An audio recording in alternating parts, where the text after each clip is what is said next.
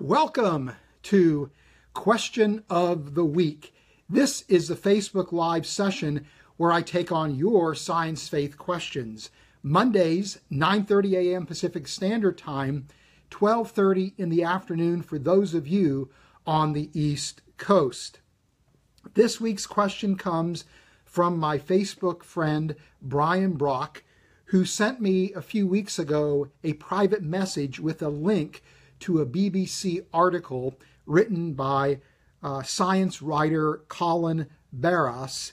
And in this article, uh, which was published May 18, 2017, uh, the writer uh, discusses the issue of the quest for the last common ancestor between humans and chimpanzees.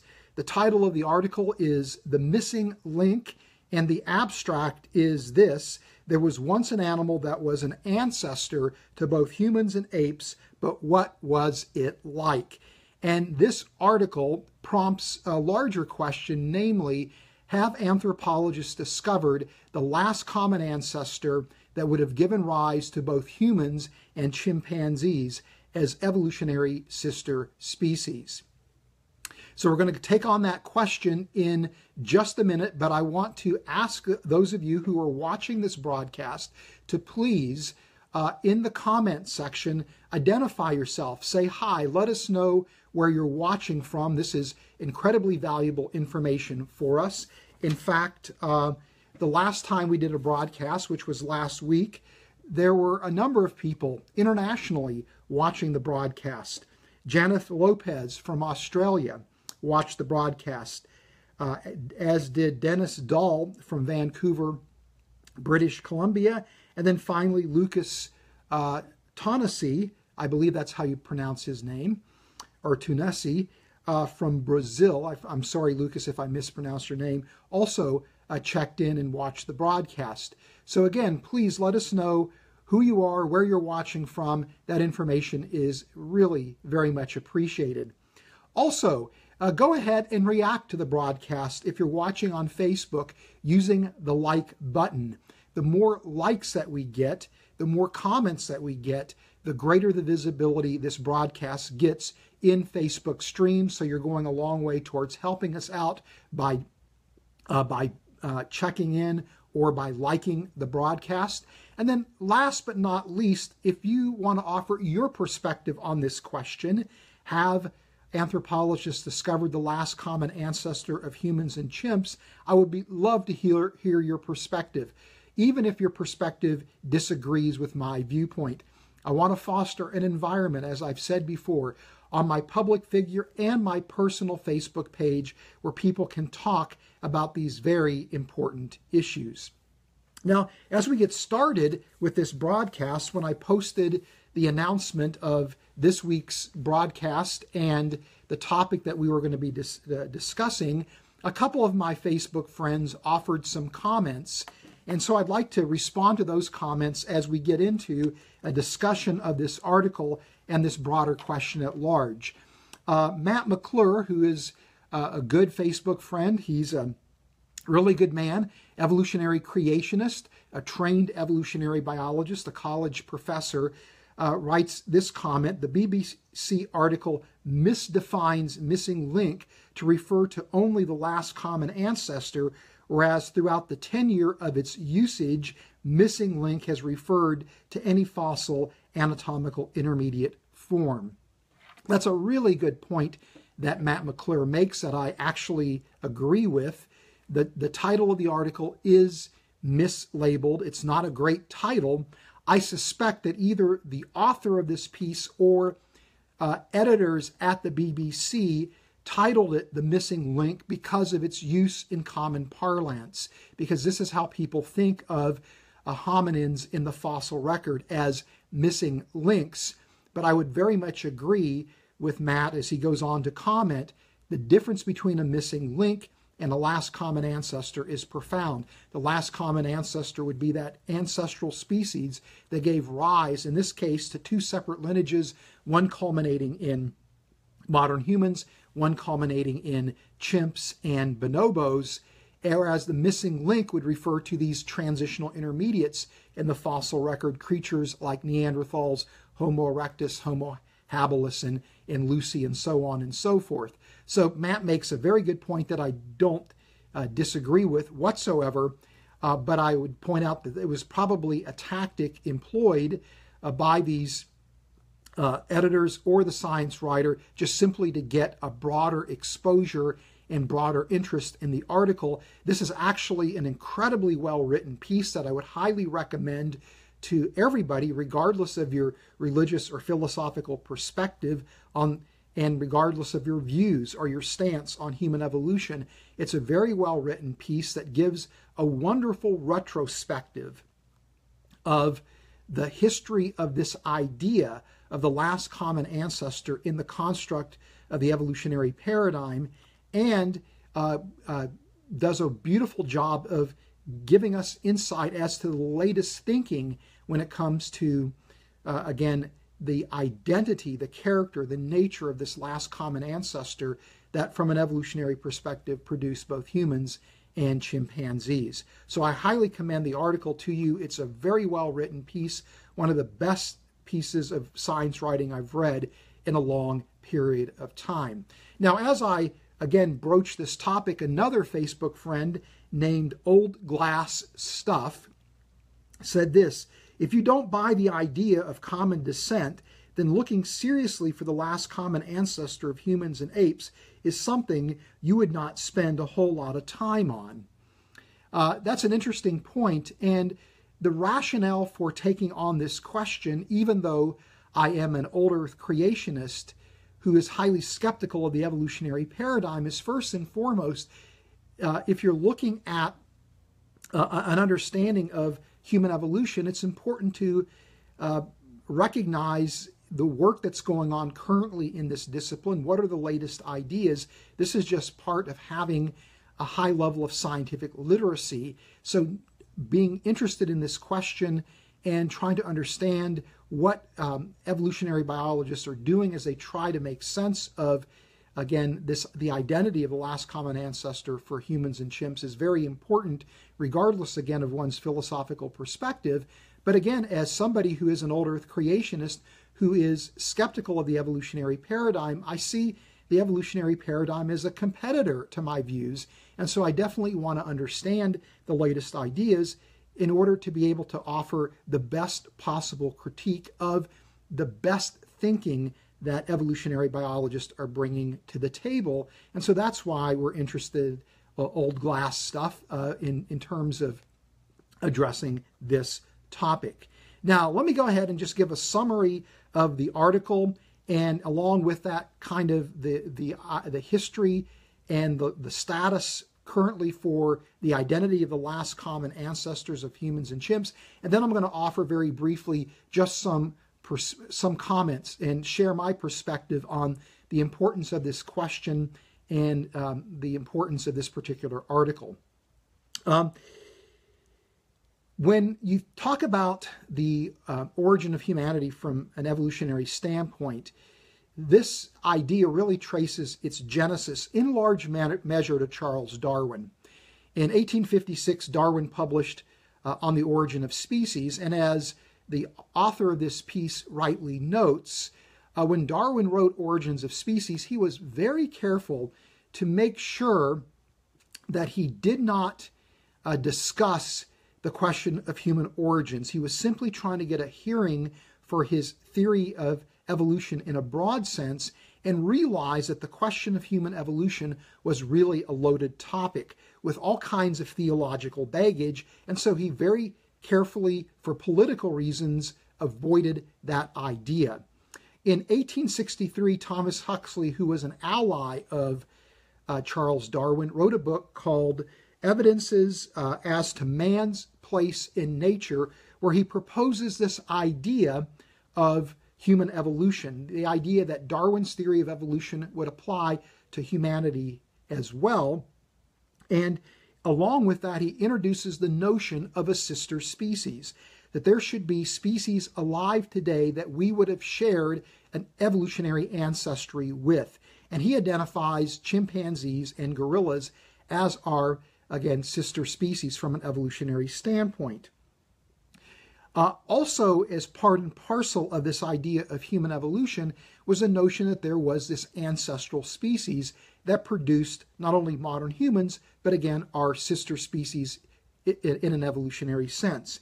In 1874, I believe, uh, Darwin wrote his book, or published his book, I should say more appropriately, uh, The Descent of Man, where he applies his theory of, of evolution to the origin of humanity. And again, uh, provides thinking along the lines of Thomas Huxley. Interestingly enough, at that particular juncture in time, and actually throughout most of the history of evolutionary anthropology, the the the great apes, chimpanzees, gorillas, orangutans have largely served as a proxy as an evolutionary stand in for the last common ancestor, where people argue that this last common ancestor would have been a knuckle walking creature that would have had a wrist structure and a hand structure very similar to gorillas and to chimpanzees. That they would these, these creatures would have had a shoulder structure also similar to the great apes because they viewed this creature as not only knuckle walking but also as a brachiating species, meaning that it moved through uh, through the trees in a swinging motion. They would have envisioned this last common ancestor to live in a woodland environment that was forced into a open savanna that drove the emergence of bipedalism for evolutionary adva- advantages that th- this creature would have been driven through this evolutionary pressure to stand erect and to begin to move around on two feet. And then finally, um, they would argue that the pelvis, the, the structure of the femurs, the, the length of the, the forelimbs, uh, the structure of the rib cage would all have been similar to the great apes because this would have allowed this creature to accommodate a knuckle walking, brachiating lifestyle. Now, uh, when you look at the history of anthropology, as uh, Colin Barras uh, points out in this article, there are instances where there were a very small minority of anthropologists that were willing to challenge this idea, arguing that maybe gorillas and chimps are actually evolutionarily more advanced, uh, more derived, evolutionarily speaking, than humans, which would have been much more primitive. Um, and that is, that the last common ancestor would have looked much more like humans than it would have looked like, again, knuckle walking, brachiating, ape like creatures. But I think even Darwin refers to the last common ancestor in these terms that it was an ape like creature. Now, one of the things that the author of this piece does that I think is very interesting and very useful is that he talks about the role that molecular clock analysis has played in uh, the identity of the last common ancestor. And even though I've been studying anthropology for well over 20 years, probably closer to 25 years, I've never really fully appreciated the influence that molecular clock analysis has had on how anthropologists think about the last common ancestor of humans and chimps. Uh, it was, you know, one of those aha moments and then kind of a, a face palm when I realized, of course, this makes perfect sense.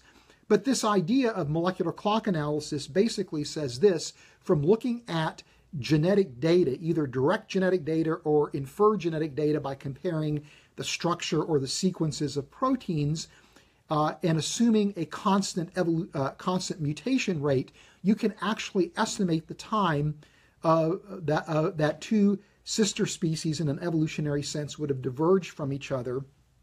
Uh, uh, and the molecular clock analysis seems to indicate that humans and chimps would have diverged from each other about six to seven million years ago, and that the lineage that led to humans and chimps would have diverged from the lineage that produced gorillas roughly 11 million years ago, and that those uh, lineages, that the, that lineage that produced gorillas, chimps, and humans would have diverged from that that which produced orangutans about 14 million years ago. And so the idea is that since gorillas, chimps, and orangutans have so much in common, uh, anatomically speaking, in terms of their behavior, that this would have further reinforced the idea that the last common ancestor was an ape like creature and that humans represent an evolutionary derived state.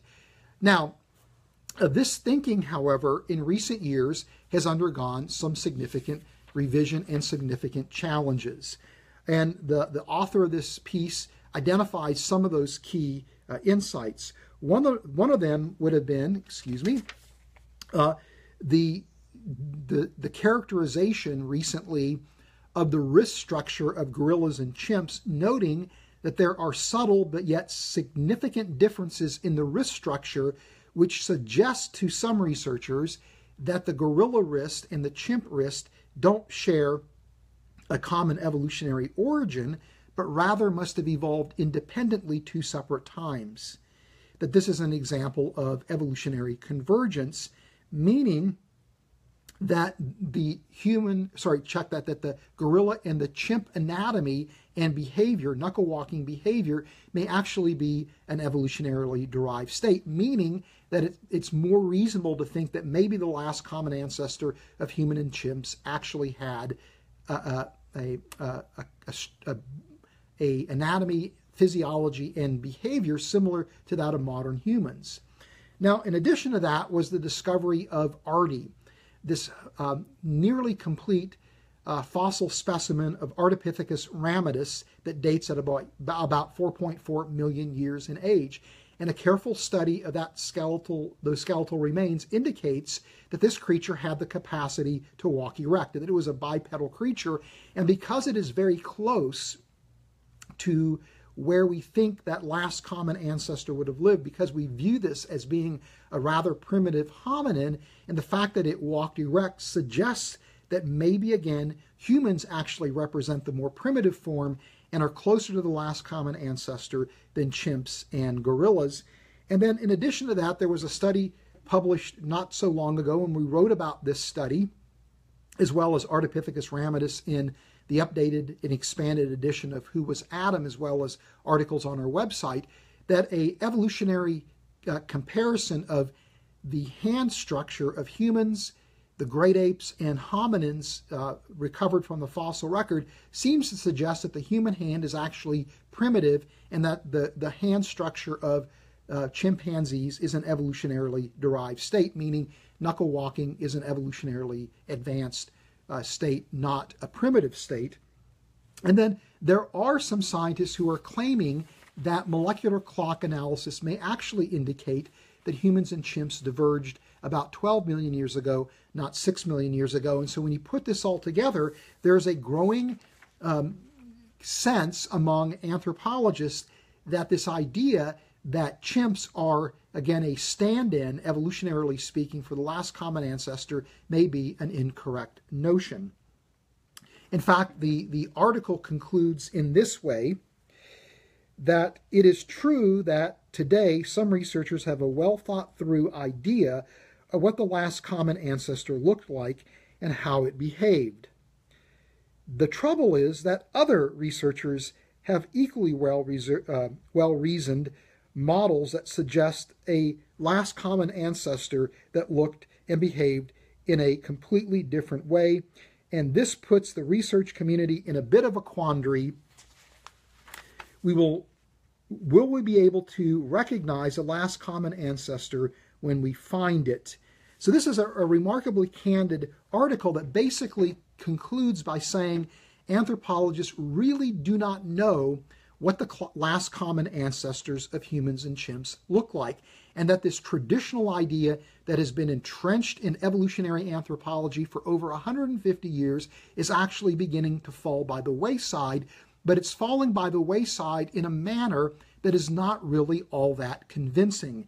There is a, a, a legitimate debate now as to what that last common ancestor looked like without any kind of evidence for clear resolution in sight. And one of the things that's interesting is that we actually discuss this issue in the expanded, updated edition of Who Was Adam in 2015. So it's somewhat gratifying to see a science journalist who is approaching uh, this, this problem uh, from a, a standpoint in which this journalist is embracing an evolutionary framework to actually acknowledge that our criticism, uh, or at least implies that our criticism in Who Was Adam was actually a valid criticism of, again, the inability of evolutionary biologists to identify and characterize the nature of that last common ancestor that produced humans and chimps. And we'll talk more about that in a minute. But in addition to that, there's some other issues that now create some uh, and expand upon, uh, I, I think, the chaos surrounding the identity of the last common ancestor. We talked a little bit over a month ago about some recent work that suggests that maybe the last common ancestor of humans and chimps didn't live in Africa, which again has been the long standing view among evolutionary biologists, but actually originated in Europe. Again, that creates uh, uh, some more chaos and confusion surrounding this question. And then also, uh, in recent years, we have now had available to us not only the human genome sequence, but also the, the sequence for the chimpanzee genome, the bonobo genome, and the gorilla genome. And interestingly enough, when whole genomes are compared, 25% of the human genome aligns more closely with the gorilla genome than with the chimpanzee genome, meaning that depending on what region of the human genome you use in comparisons, the data would actually say that our closest ancestor would be gorillas, not chimpanzees. So the bottom line is, again, I appreciate the candor in this in this article, is that we really don't know the identity of the last common ancestor from an evolutionary perspective. Now, what what is what difference does this make? Uh, is this really significant? I think the answer to that question is it is significant and it makes a big difference. You know, so often I meet people who are skeptics, who are seekers, who are uh, theistic evolutionists slash evolutionary creationists, who are startled that I would reject the idea, or at least be skeptical of the idea of human evolution, given the fact that we have this uh, fossil record that is describing a, a large number of hominin species that existed between roughly uh, six to seven million years ago and uh, maybe even 30,000 uh, years ago, uh, where some of these hominins would have coexisted with modern humans. That we have this very rich hominid fossil record. How on earth, in light of that, could you even be skeptical of human evolution? Because doesn't this hominin fossil record essentially uh, describe an evolutionary origin of humanity? Well, I appreciate um, that concern or that question very much, but the fact of the matter is, uh, as an old Earth creationist, I don't deny the, the reality of the hominin fossil record. These are real creatures that existed, that that disappeared, that went extinct in, in every instance. Uh, these are creatures that I believe are properly dated using scientific methodology. So the fossil record is giving us a sampling of a real natural history for these creatures on Earth.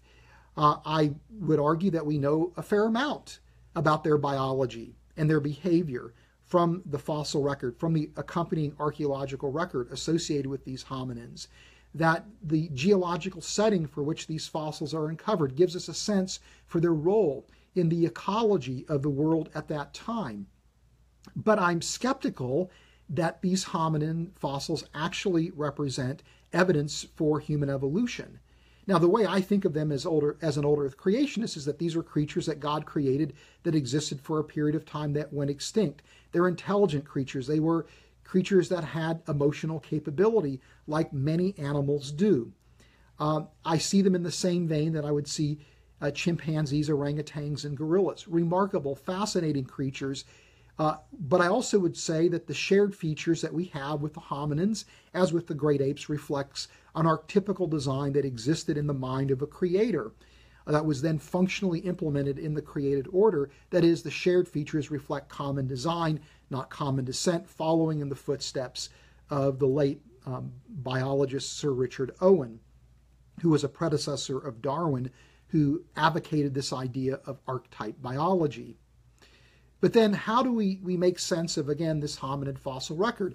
Well, evolutionary biologists like to point to that fossil record and argue that these are transitional forms, that these are transitional intermediates. But it's interesting because when they use that term, they're using that term in an ambiguous way.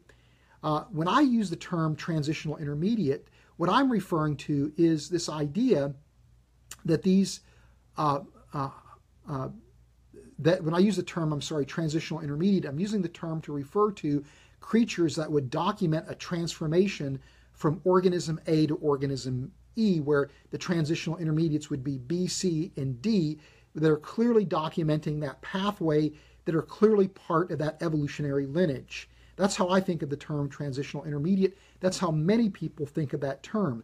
Oftentimes, when that term is used by evolutionary biologists, they argue that these are simply creatures between two time points.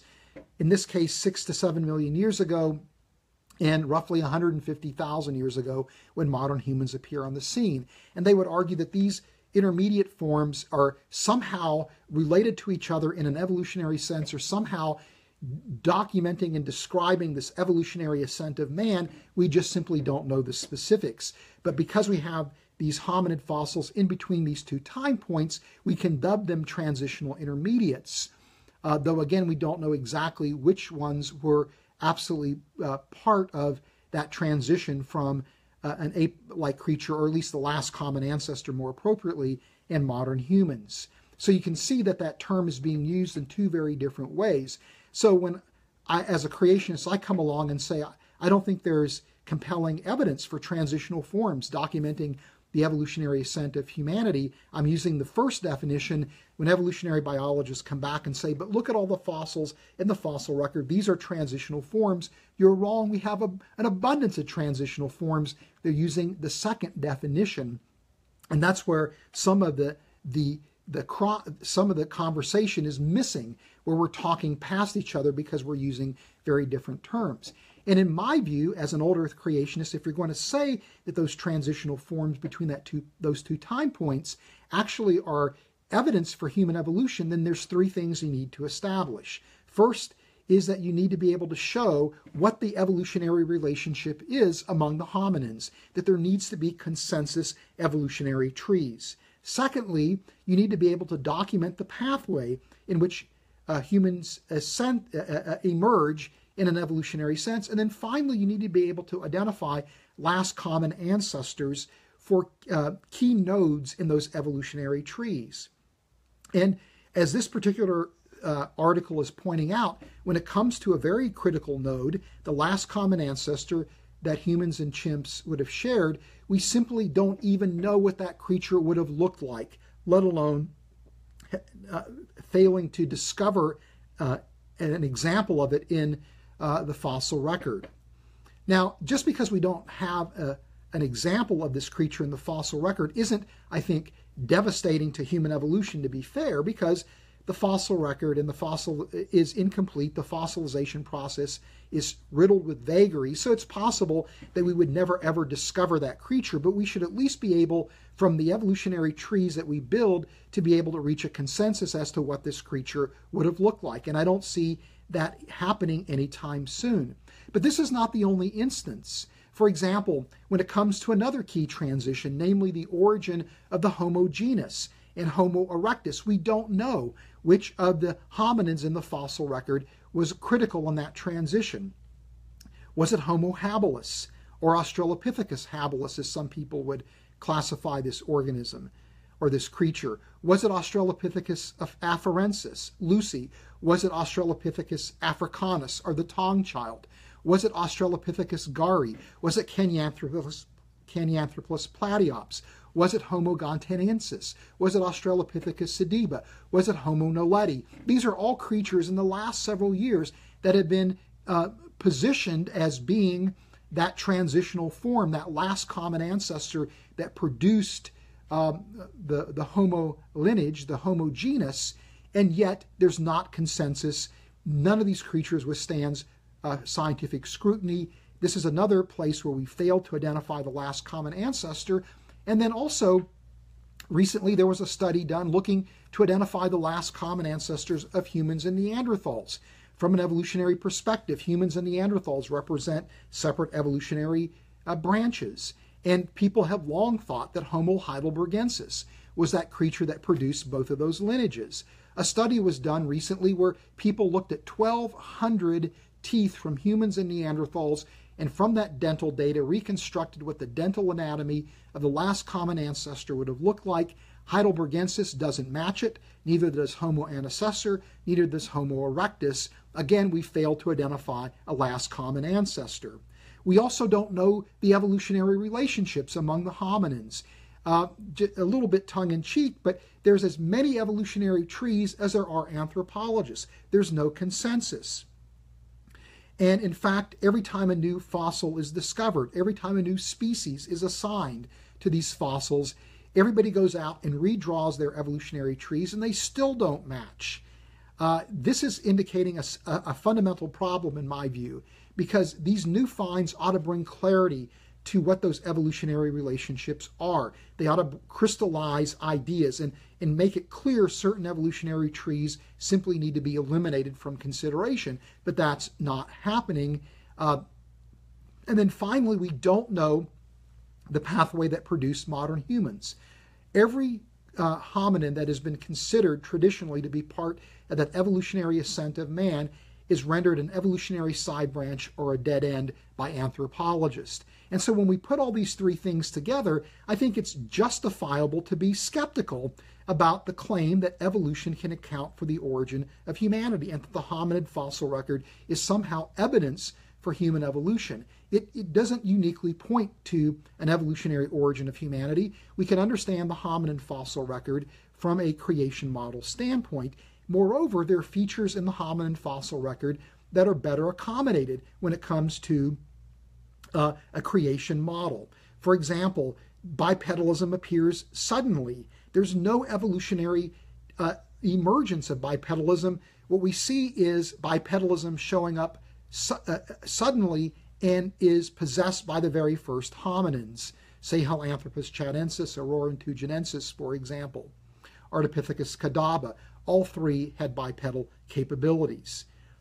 Uh, also, when it comes to things like the socio-cultural Big Bang and human uniqueness and human exceptionalism, that shows up explosively as well, without any kind of evolutionary explanation. So the bottom line is this: that this article is a wonderful uh, and candid discussion of the failure of evolutionary biologists 150 plus years into the question of human evolution to d- identify what that last common ancestors of humans and chimps would have looked like.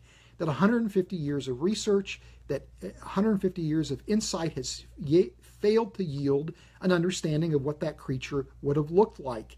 And this, again, uh, is emblematic of what I see in, in human evolution and among uh, evolutionary anthropologists is ideas that are, are communicated to the lay public that are communicated in introductory biology classes, uh, even in introductory courses in human evolution, seem to be communicated as if they are well established, robust ideas that are evidenced by the, the fossil record and genetic comparisons. But the fact of the matter is, when you begin to dig into the into these questions and you peel uh, a few layers off the surface and get underneath the surface, what you see is ideas in human evolution are highly speculative, highly uncertain, that human evolution has more in common with literary criticism than science, where ideas go in and out of favor or where ideas become vogue, but ideas really lack robust evidence ultimately.